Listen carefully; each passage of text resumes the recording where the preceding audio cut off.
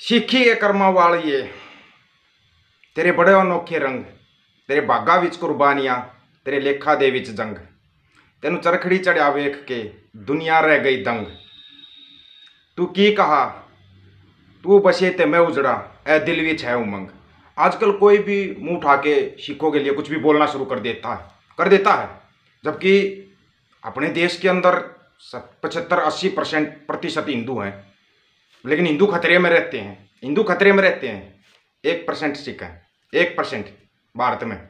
कभी नहीं कहते वो खतरे में है, जबकि पीछे सब कुछ लगा हुआ है। सब कुछ पीछे लगा हुआ है। साथियों, याद आपको, हमने सिखों के बारे में कब बोलना शुरू किया था? याद है को चलो आज यादें ताज़ा करवाते हैं आपकी। और क्यों बोलना शुरू किया था? एक एक चीज़ याद दिलानी बहुत ज़रूरी है। कोई फौजी अगर चैनल के ऊपर जुड़ा होगा ना, वो बता देगा, फौज में कार्रवाई होती याद दिलाओ की कार्रवाई। याद दिलाओ। वो कार्रवाई करनी पड़ती है। सिख अभी सो रहे हैं, ख़त्म नहीं हुए हैं, लेकिन वो सो रहे हैं। उनको पता नहीं कि उनके साथ क्या होने वाला है, वो सो रहे हैं। जिस दिन जग गए ना जग गए जैसे मुगल खत्म थे, वैसे ही ये तानाशाह खत्म हो जाएँगे। कोई भी मुँह उठा के चक्के मुँह ने आ जाता है, ये कर देंगे, सिखों को मिटा देंगे, ऐसे कर देंगे, ये मार दिया, वो काट दिया, करते हैं ना। कोई अपने आप को कर्नल बोलता, कोई जर्नल बोलता है कोई मेजर बोलता है ऐसे बोलने वाले बहुत आते हैं, बहुत ज़्यादा। पहले भी आए हैं, ये मैं समझो पहले नहीं आए, पहले भी बहुत आए। मुगल भी आए थे, उन्होंने भी बोला था, बट देंगे, बस सिखों को नहीं छोड़ेंगे। लेकिन वो खुद ही अता पता ही नहीं उनका, अता पता लापता ऐसा ही हाल सबका होता है, सबका होता है। आपको पता है ये शुरुआत कब से हुई थी? सिखों का एक ग्रहण करने की शुरुआत कब से शुरू हुई थी? वैसे तो सबको पता है, उन्नीस से हुई थी। उन्नीस से उन्नीस में पहला अटैक हुआ था दरबार साहिब के ऊपर। पहला अटैक उन्नीस में हुआ था। कहीं आप उन्नीस सोच सोच के बैठ जाओ, उन्नीस में। सबको पता है, तब देश के प्रधानमंत्री कौन थे? अब बताना पड़ेगा कि जवाहरलाल नेहरू थे। क्यों हुआ था? क्योंकि सिखों ने अपना हक मांग लिया था। हक मांग लिया था। जब जब सिखों ने हक मांगा है। लेकिन अब की बार है ना, जो ये दुश्मन आपका, मनु मनु भाई, बड़ा तेज दुश्मन है ये। ये दिमाग से चल रहा है, दिमाग से। 2022 में हमने बोलना शुरू किया था खुल के सिक्खी के बारे में। खुल के 2022 में। चलिए आपको 2022 को याद दिलाओ की कार्रवाई शुरू करते हैं। 2022 में कैसे शुरुआत की थी? भाई, शुरुआत इन्होंने पाँच साल पहले भी की थी, एक बार याद है? श्री दरबार साहिब के नीचे से एक नाला जाता है, गंदा नाला जाता है। वहाँ पर इन्होंने राम नाम लिख के ईंटें लगाई थी। लेकिन वो समय रहते लोगों को पता चल गया तो लोग वहाँ पे पहुँच के वो ईंटें खुड़वाई थी। याद है या नहीं याद है? पंजाब वाले बता देंगे। पाँच साल पहले की बात है। वो ईंटें जब उखड़वाई तो ये पता क्या करते हैं? कुछ से पाँच दस साल के बाद नहीं बोलते देखो, ईंटें उखाड़ के बोलते देखो वे, वैसे भी विष्णु का मंदिर बोल रहे हैं, दरबार साहिब को। नहीं, गलत बोल रहे हो, गलत, घना गलत बोल रहे हो। विष्णु का मंदिर नहीं है वो, दरबार साहिब है वो, दरबार साहिब। समझे? उसकी तुमने कितनी चालें की हैं। अब आइए इनकी पूरी चालें सुनाते हैं आपको। ये जो चाल शुरू की थी इन मनु भाइयों ने। जब लाल किले पर नौवें पातशाह गुरु तेग बहादुर जी का गुरु पर्व मनाया गया था चार प्रकाश पर्व, याद आया आपको? याद आया? अब उसकी एक एक बात बताते हैं, वहीं से, मैंने शुरुआत वहीं से हुई थी। उससे पहले जो साथी नया जुड़ता है ऑफिशियल दीपक फौजी यूट्यूब चैनल के ऊपर चैनल को सब्सक्राइब करना बेल आइकन को दबाना, ताकि नोटिफिकेशन आपके पास पहुँचता रहे।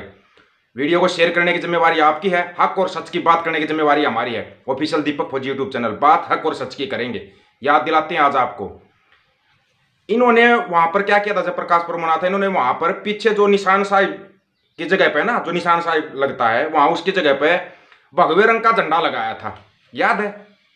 नहीं याद है तो वीडियो वही के वही है। वीडियो देखो एक बार जाके। भगवे रंग का झंडा जहाँ पीछे सीनरी लगी थी, पहले वहाँ श्री दरबार साहब की फ़ोटो होती थी। श्री दरबार साहब की फ़ोटो होती थी। आप दोबारा जाकर वीडियो डिलीट नहीं हुए हैं वो। आप देख सकते हो। देख सकते हो उन वीडियो को।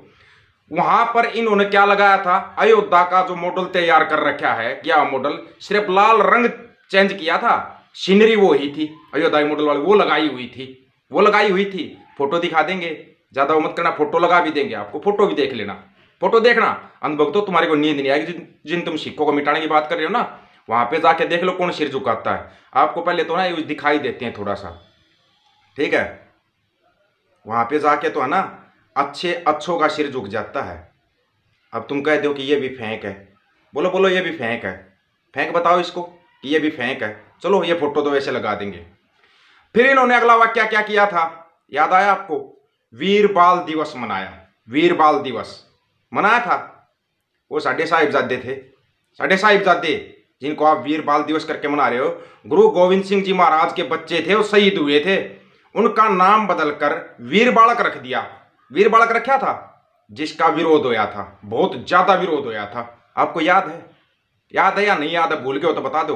बहुत ज़्यादा विरोध था।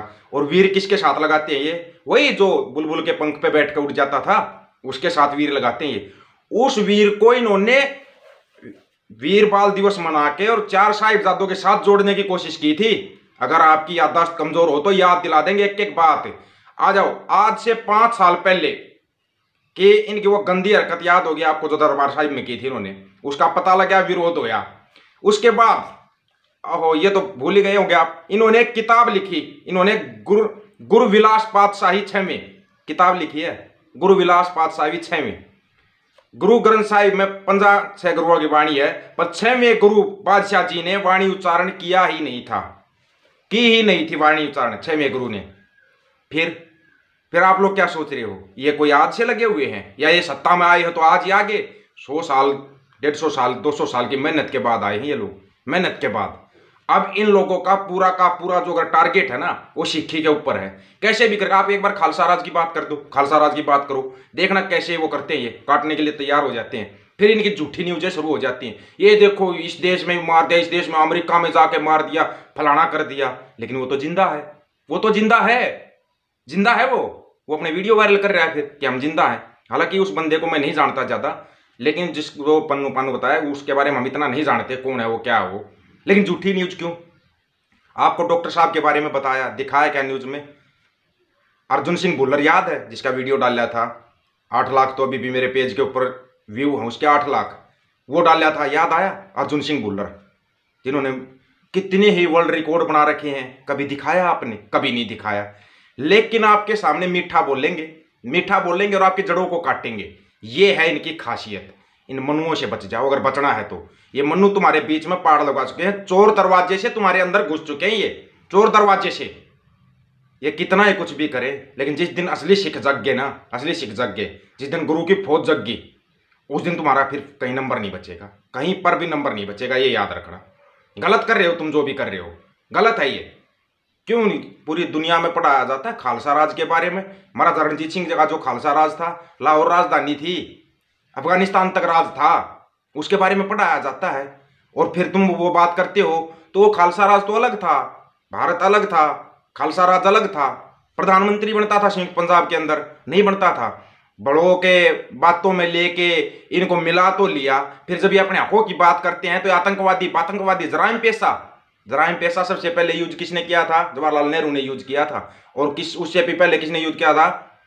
जिसको तुम वल्लभ भाई पटेल बोलते हो, उसने यूज़ किया था कि जराइम पैसा को हमें इसके ऊपर ध्यान रखना पड़ेगा। याद आया? तो आज से नहीं, बहुत सालों से इनकी निगाह तुम्हारे ऊपर। बचो इनसे जितना बच सकते हो, जितना बच सकते हो बचो। वीडियो को शेयर इतना कर देना ताकि ये सोए रहे ना जो सो रहे हैं, गुरु के सिख सो रहे हैं, ये जग जाएँ। जग जाए, जो भी हक सच की बात करता है उसको दबाने के लिए। अभी तुम सिखों के नाम से आईडी बना के गलत कमेंट करने लगे सिखों के नाम से आईडी बना के गलत कमेंट करने लगे। कुछ भी करो, ऐसे ही बताते रहेंगे और आँखें खोलते रहेंगे। सभी साथियों को राम राम, नमस्कार, आदाब, सत वीडियो को ज़्यादा से ज़्यादा शेयर चैनल को सब्सक्राइब और बेल आइकन को ज़रूर दबाना दोस्तों, ताकि नोटिफिकेशन आपके पास पहुँचता रहे। ऑफिशियल दीपक को यूट्यूब चैनल बात, हक और सच की करेंगे। किसी को तकलीफ़ होती है तो और ज़्यादा तकलीफ़ करेंगे, और ज़्यादा तकलीफ़। वीडियो शेयर आप करोगे, हक सच की बात हम करेंगे। वाहिगुरु जी का खालसा, वाहिगुरु जी की फतेह।